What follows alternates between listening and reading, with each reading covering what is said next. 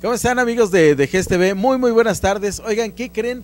Que me encuentro con una persona que yo sé que algunos de ustedes conocen y si no, bueno, ahorita se los voy a presentar y yo sé de verdad que se, eh, les va a caer eh, de maravilla.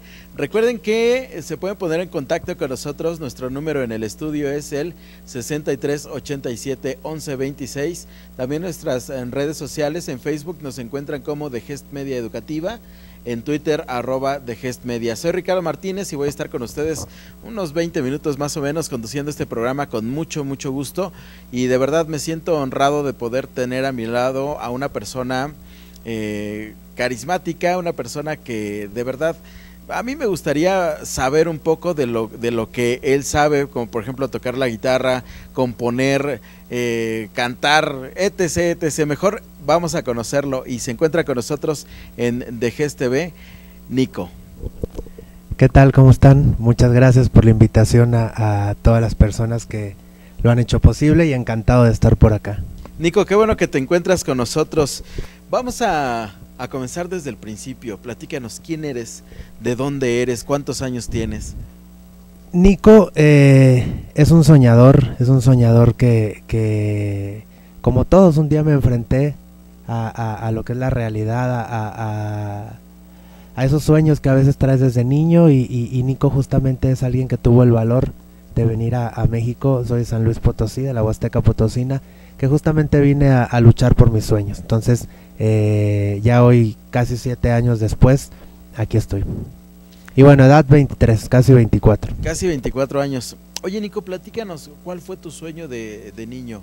Eh, ¿O qué era lo que más te gustaba? ¿O qué es lo que más te llamaba la atención? ¿Cantar, escribir, componer? El eh, componer fue después, solamente, o sea, de niño simplemente me gustaba la música, entonces eh, pues me gustaba cantar ahí por todos lados. Eh, siempre lo vi tan real y ni siquiera me dedicaba a esto. Siempre fue como que llegaba a un lado y yo, eh, o sea, en la mente escuchaba aplausos, te lo juro. Entonces, pues después empecé a crecer, mi papá me regaló una guitarra, empecé a tocar bien poquito, porque yo no tenía el plan de, de esto. O sea, simplemente yo creo que no es normal que un niño de 7 años tenga 200 discos. Entonces amaba la música, pero pues como todo, la verdad me la, la palabra es miedo, me dio miedo dedicarme a esto, dije no. Entonces pues me alejé totalmente de la música, pero como todo, más o menos a los 16 años llegó, pero con todo la música, entonces al grado de que ya no quería ni estudiar, pero bueno, mi papá habló conmigo. Y, y finalmente después cuando, cuando empecé a, a, involucrarme en la música, primero aprendí, bueno, tomé clases de batería, nunca di una, después un poquito de guitarra, y cuando llegué a, las clases de canto, eh, me di cuenta que a través de mi voz podía transmitir emociones. Y fue donde empecé a componer. Y realmente hoy te puedo decir que el talento con el que nací ni siquiera es cantar, sino componer. Pero realmente la primera canción la escribí a los 16, 17 años. Cuando creo que ese tal, con ese talento nací. A ver, eh, ya estás tú en los 16 años, pero me voy a regresar un poco a los, a los 7, cuando dices que tenías eh, 200 discos. ¿A quién admirabas? ¿Quién era tu, tu ídolo en, en, en, aquel tiempo? Eh, de todo un poco, o sea, de entrada yo crecí eh, con la música que escuchaban mis papás, Juan Gabriel, Ana Gabriel, entonces no me encantaba, pero eso fue lo que a mí me tocó escuchar. A mí yo siempre he sido muy de modas, entonces en ese en ese tiempo pues no sé, había mucho mucho pop nuevo, gente como bueno, nuevo para mí porque como B7, como siempre fui muy popero y después también hubo una época en la que me gustó lo regional y hoy día me doy cuenta que yo admiro o me hago fan de, de la persona. Aunque no me guste su música, cuando yo veo que alguien ha luchado, que le ha costado, ahora como que me hago muy fan de la persona, más que de la misma música. Ok, entonces estabas en clases de batería, no diste una, eh, te gustó la guitarra porque eh, tu papá te obsequió una guitarra cuando niño y mm, te sirvió para empezar a componer. Primero estuve ahí en la primaria, creo que en el, la rondalla o no sé cómo le, le llaman a esto, y después boté todo empecé a crecer y dije, no, yo nada de esto. Cuando como a los 16 más o menos que viene la música de nuevo, creo que la guitarra ya ni la tenía. Entonces creo que mi papá me regaló otra o no sé cómo estuvo la, la cuestión, pero empecé a estudiar música en, en escuelitas y demás. Y fue donde ya ahí la necesidad pues obviamente me llevó a, a aplicarme un poquito más en la guitarra y fue donde empecé a componer. Pero repito, yo creo que fue como a los 16 años, 17. Justamente, o sea, yo dije, en, en la escuela donde estudiaba ah, teníamos un grupito.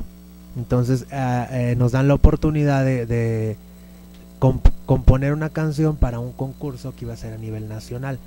Y la canción, pues yo dije, pues creo que yo como que medio puedo. Entonces yo compuse esta canción yo no pude ir a concursar porque tenía un evento familiar y, el grupo, que era mi grupo, fueron a concursar a Guadalajara y ganaron el primer lugar. Yo dije, ah, caray, creo que no lo hago entonces tan mal. Y fue donde empecé a componer, que literalmente en tres meses tenía 50 canciones. Y fue donde dije, yo quiero un disco.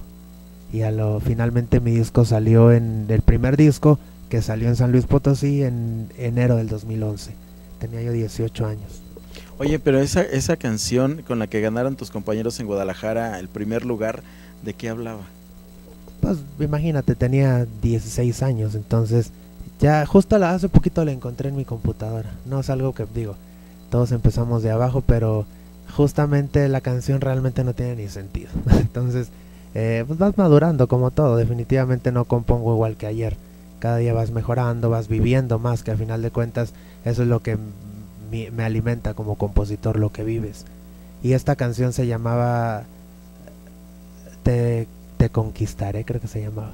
Y la realidad es que, bueno, no sé si algún día tenga el valor de mostrarla, pero por ahí anda guardada todavía. Ojalá que sí, el día que eso sea, ojalá que ya sea en, en radio, en televisión, aquí en The Gest, ojalá que podamos eh, escucharla. Oye, eh, ¿cuántas canciones tienes escritas? Buena pregunta. Yo creo que pues tengo dos, di bueno, tres discos, pero el primero y el segundo se editó eh, dos veces. Entonces tan solo de ahí ya son cerca de como 20. Y hubo una etapa en la que cuando llegué a México hace cinco años eh, empecé a meterme mucho como compositor. Realmente tenía, estaba componiendo todos los días con muchos autores y después de ahí, a mí, re respeto a todos los compositores, pero a mí eso no me funcionó. Hoy compongo de acuerdo a lo que siento. Y si sí, de repente pues platico con algún artista con, o con alguien que me cuenta su historia y a veces yo la he llegado a componer. Pero a final de cuentas es una historia real, que si bien no me pasó a mí, le pasó a alguien. Yo creo que debo de tener como cerca de 50, bien grabadas como 50 porque 50 tenía para grabar el disco, pero el primer disco, pero de esas 50 pues obviamente quedaron 10, 12, 15 quizá, y todas las demás pues por ahí quedaron. Entonces, hoy grabadas yo creo como, a lo mejor no con mi voz, porque incluso tengo canciones que llegaron a, a, a enviarse para algún otro artista y pues si era una canción que tenía que cantar una mujer, pues la cantó alguna corista. Entonces yo creo que como 50, 60 canciones. ¿Quién te ha grabado, Nico? Eh, se quedó una canción, bueno, un ex manager que tuve fue eh, manager de Laura León, entonces e, ella, ella se quedó con, la verdad no supe si la canción salió o no, porque Laura tiene una manera muy diferente de, llevar su carrera. Entonces de repente saca un disco y le mete dos canciones nuevas y todos sus éxitos y luego ya no hace nada, entonces ella está muy metida como, como actriz. Y eh, después de ahí yo tomé la decisión de parar un poquito mi carrera como autor, porque decidí estar al 100 como artista y el día de mañana es un sueño que también tengo, lograr una carrera como compositor, que también es un mercado bien, bien competido, pero eh, ahora realmente no estoy haciendo nada como compositor. Muy bien, ya, entonces ya tienes una trayectoria ya de, ya de algunos años. ¿En qué escenarios te has presentado? Eh, realmente mi trabajo fuerte está en la República Mexicana. Aquí obviamente vivo en México porque pues de aquí salen todos los viáticos, pero eh, he estado en yo creo que cerca del 70-80% de la República Mexicana. Aquí en México es más complicado. Aquí en México igual he actuado, en, he estado últimamente mucho en ferias de los alrededores de lo que es el Estado de México y aquí he tenido shows propios como el Bataclan, en la Condesa, pero aquí en México apenas estamos justamente, y es uno de los motivos por el cual estoy acá, que vamos a empezar a hacer, eh, o estamos más bien, en una gira escolar.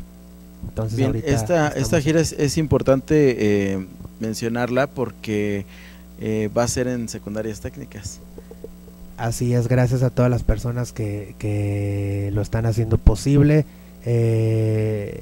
y un sueño más, realmente hace poco entendí que no hago música por hacerla que yo tengo un propósito y es justamente el cual hoy me hace luchar cada día por mis sueños y es el decirle a todas las personas, no importa la edad, decirle que sí se puede, que hay que luchar por los sueños, que hay que tener el valor, que hay que trabajar un montón y que es bien duro, pero a final de cuentas yo creo que es el camino que te puede traer satisfacción.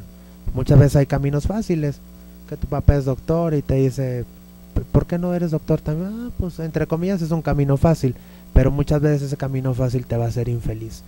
Entonces yo estoy aquí porque justamente tuve el valor de luchar por un sueño y si bien ha sido muy difícil, hoy te puedo decir que soy feliz haciendo lo que, lo que amo. Entonces este mensaje no me lo puedo quedar, tengo que compartirlo y ahora eh, gracias al, creo que es el maestro Salgado que por ahí nos, nos abrió las puertas, vamos allá. Tenemos ahorita una, una mini conferencia motivacional y desde luego canto un par de canciones eh, estamos llevándolo a toda la República Mexicana y justamente vamos a empezar aquí en las secundarias una, una pequeña gira.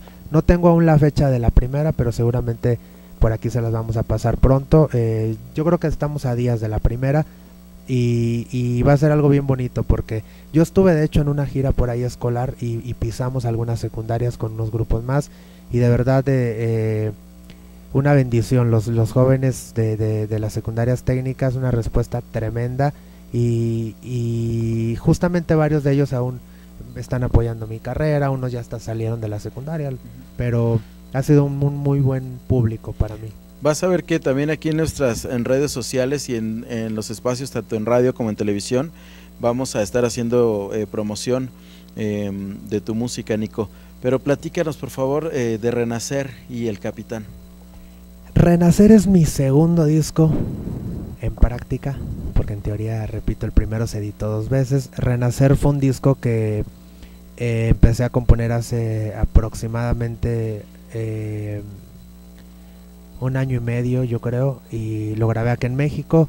Fue em, un disco bien especial porque me dio pauta para cambiar un poquito el estilo. Eh, mi primer disco fue pop meramente este disco ya es vallenato pop, tiene tintes de acordeón, tiene, tiene eh, muchos metales, tiene mucha vida, mucha fiesta y sobre todo está plasmado el, el, objetivo al cual hoy llevo mi carrera, que es el de motivar. El Capitán justamente es una canción que, que dice que aunque suba la marea, aunque pase lo que pase, eh, luches por tus sueños. Que no hay imposibles, que hay piedras en el camino, lo dice la canción, pero pero que sí se puede. Entonces eh, es un disco bien especial. Eh, todo ya está enfocado al, hacia el vallenato y hay un par de canciones como con la bendición de Dios, como el capitán, que hablan justamente de motivar y desde luego hay, hay canciones de amor, de desamor y de todas estas cosas que nos suelen pasar en el día a día. Bien, oye, ¿crees que podamos escuchar un poco eh, parte de la canción del capitán? Estaría de maravilla escuchar tu voz a capela. Claro que sí. Por ahí, bueno, no sabe, pero no traemos guitarra. Es más, ni lo preparamos, pero con mucho gusto. Claro que sí. Entonces vamos a escuchar a Nico. Alguien me dijo algún día que era difícil la vida, que tengo que trabajar y las barreras brincar. Dicen también en mi pueblo que si no llegas primero, no importa cuánto te tardes, caminando llegarás. Hay piedras en el camino, sueños que aún no he cumplido, pero voy a continuar. Nada nos puede parar y aunque suba, suba la marea, nunca olvides que este mundo rueda y que tú eres el capitán. Nada nos puede parar y aunque suba, suba la marea, nunca dejes de mover la vela y que tú eres el capitán, el que decide el final. Así que esto es el. Vamos a darle un aplauso aquí en, el, aquí en, el, estudio. La verdad es que, oye, se escucha bastante padre. ¿En dónde, ¿En dónde te podemos encontrar, Nico? Todas mis redes sociales, Nico Música MX, Facebook, Twitter, Instagram, YouTube, Y todas estas cosas que ahora hay. Nico con C, N-I-C-O, Música MX. Todas, todas, todas. Y mi página oficial igual, www eh, www.nicomusicamx.com. Muy bien, estamos escuchando ahí de fondo eh, el capitán precisamente y que por cierto eh, ya vamos a estar eh, promoviendo en The Gest Radio a partir de, de, hoy. Y bueno chicos, ustedes que nos están viendo en sus escuelas y también quien vaya a ver el programa en la repetición en YouTube, eh, les recuerdo que Nico lo encuentran en Facebook como Nico Música MX, Twitter eh, también, de hecho en Twitter, en Instagram, YouTube eh, y en Facebook Nico Música MX. Y ya lo saben, eh, a, darle, a darle like a, Nico en, todo, en todas sus, sus, redes sociales. Así es, ahí por ahí escríbanme, estamos todo el día conectados ahí, subiendo donde andamos y ahí vamos a subir también las fechas de de esta gira por las secundarias, así que ahí estén al pendiente porque ahí se van a enterar de todo. Y también en la página de Facebook de, de Gest Media también vamos a estar promoviendo eh, las fechas, tus fechas de, de, de, presentaciones en las escuelas secundarias técnicas aquí en la Ciudad de México. Perfecto, sí, para que estén al pendiente de la gira. Estamos ahora, eh, creo que estoy el próximamente voy a estar en Gilitla, San Luis Potosí, Tamazunchale, que también es de San Luis, Landa, de Matamoros, que creo que es Querétaro, y otro lugar que se llama Matlapa, que creo que también es de Tamaulipas, y un montón de lugares, así que por, no tengo las fechas, pero ya son los últimos del año, ya prácticamente creo que por ahí del 18 termina y hasta el próximo año, así que estén bien al pendiente. Si alguien quiere hacer contrataciones contigo también en tus redes sociales, ahí en las redes sociales, escríbanos. Teléfono? El teléfono no lo tengo aquí, pero si no es ATL Music. Ahí estén, ahí todo lo que quieran y todo tipo de eventos. Muy bien, Nico, ya estamos a punto de, de, despedirnos. No sin antes quiero pedirte por favor que le envíes un mensaje a toda la gran comunidad de escuelas secundarias técnicas aquí en la Ciudad de México y también sin hacer eh, de lado a toda la gran comunidad de escuelas secundarias técnicas que nos ven y nos escuchan aquí, eh, eh, a lo largo y ancho de esta República Mexicana. Claro que sí, a todos ustedes créanme que vale la pena luchar por los sueños, créanme que no es imposible, es muy difícil yo sé que se van a burlar de ustedes, pero por más grande que pueda ser tu sueño, eh, si luchas, si te esfuerzas, si eres bien honesto, porque muchas veces ahí es donde perdemos el rumbo. Sé bien honesto con lo que quieres, sé bien específico con lo que quieres, porque yo pude haber dicho quiero cantar, puedo cantar en el baño o en mil lugares, pero cuando eres bien específico, eh, sabes to tomar decisiones, vas a saber qué opciones sí te pueden ayudar y cuáles no. Entonces, créeme que vale la pena luchar arriesgate, juégatela y, y si sí se puede. Yo te puedo decir que si bien no he llegado a donde aún yo quiero, estoy en el camino y de verdad que eso te da una satisfacción tremenda. Así que chicos, yo sé que eh, la edad en la que están es una edad bien difícil, pero vale la pena. Así que ese es mi mensaje, que luchen por los sueños y que ojalá que pueda contar con su apoyo. Muy bien, ya nos estamos eh, despidiendo. ¿Qué te parece si cerramos el programa escuchándote nuevamente? ¿Te parece Claro bien? sí. Bueno, entonces nos vemos y nos escuchamos. Esto es de Gest Media. Oigan, les recuerdo, por favor, apréndanse nuestro número en cabina, nuestro número en el estudio, que es el 6387-1126. Nuevamente 6387-1126. Si ustedes también quieren estar pendientes de las actividades que va a tener Nico en secundarias técnicas aquí en la Ciudad de México, por favor entren a nuestro Facebook, que es de Gest Media Educativa, para que estén pendientes de todas las actividades que estamos llevando a cabo. Y no se les olvide, aquí está el sencillo El Capitán que está promoviendo Nico en este momento. Nos vamos, no sin antes también quiero dar un agradecimiento a todos mis compañeros que hacen posible este espacio y, y sobre todo al licenciado Manuel Salgado Cuevas, quien es director general de Educación Secundaria Técnica en la Ciudad de México, por las facilidades que nos brinda para poder realizar este y todos los programas, tanto en radio como en televisión. Soy Ricardo Martínez, muchas gracias, que tengan un excelente día y nos quedamos con la voz de Nico. Adelante. Bueno, esta canción eh, justamente va sobre la misma línea y por acá, ok. Y dice, eh, quiero hacerte olvidar, si las cosas andan mal nunca se muere la esperanza. Voy a hacerte una canción que te devuelva la ilusión, quiero ser la lucecita que te prende el corazón. Ay, ay, ay, que no se muera la esperanza. Ay, ay, ay, que nos devuelvan la confianza y que nadie más sienta dolor. Que en cada pueblo brille el sol. Que se acabe la pobreza con la bendición de Dios. Esto es con la bendición de Dios. Muchas gracias, que Dios los bendiga mucho y gracias por la oportunidad.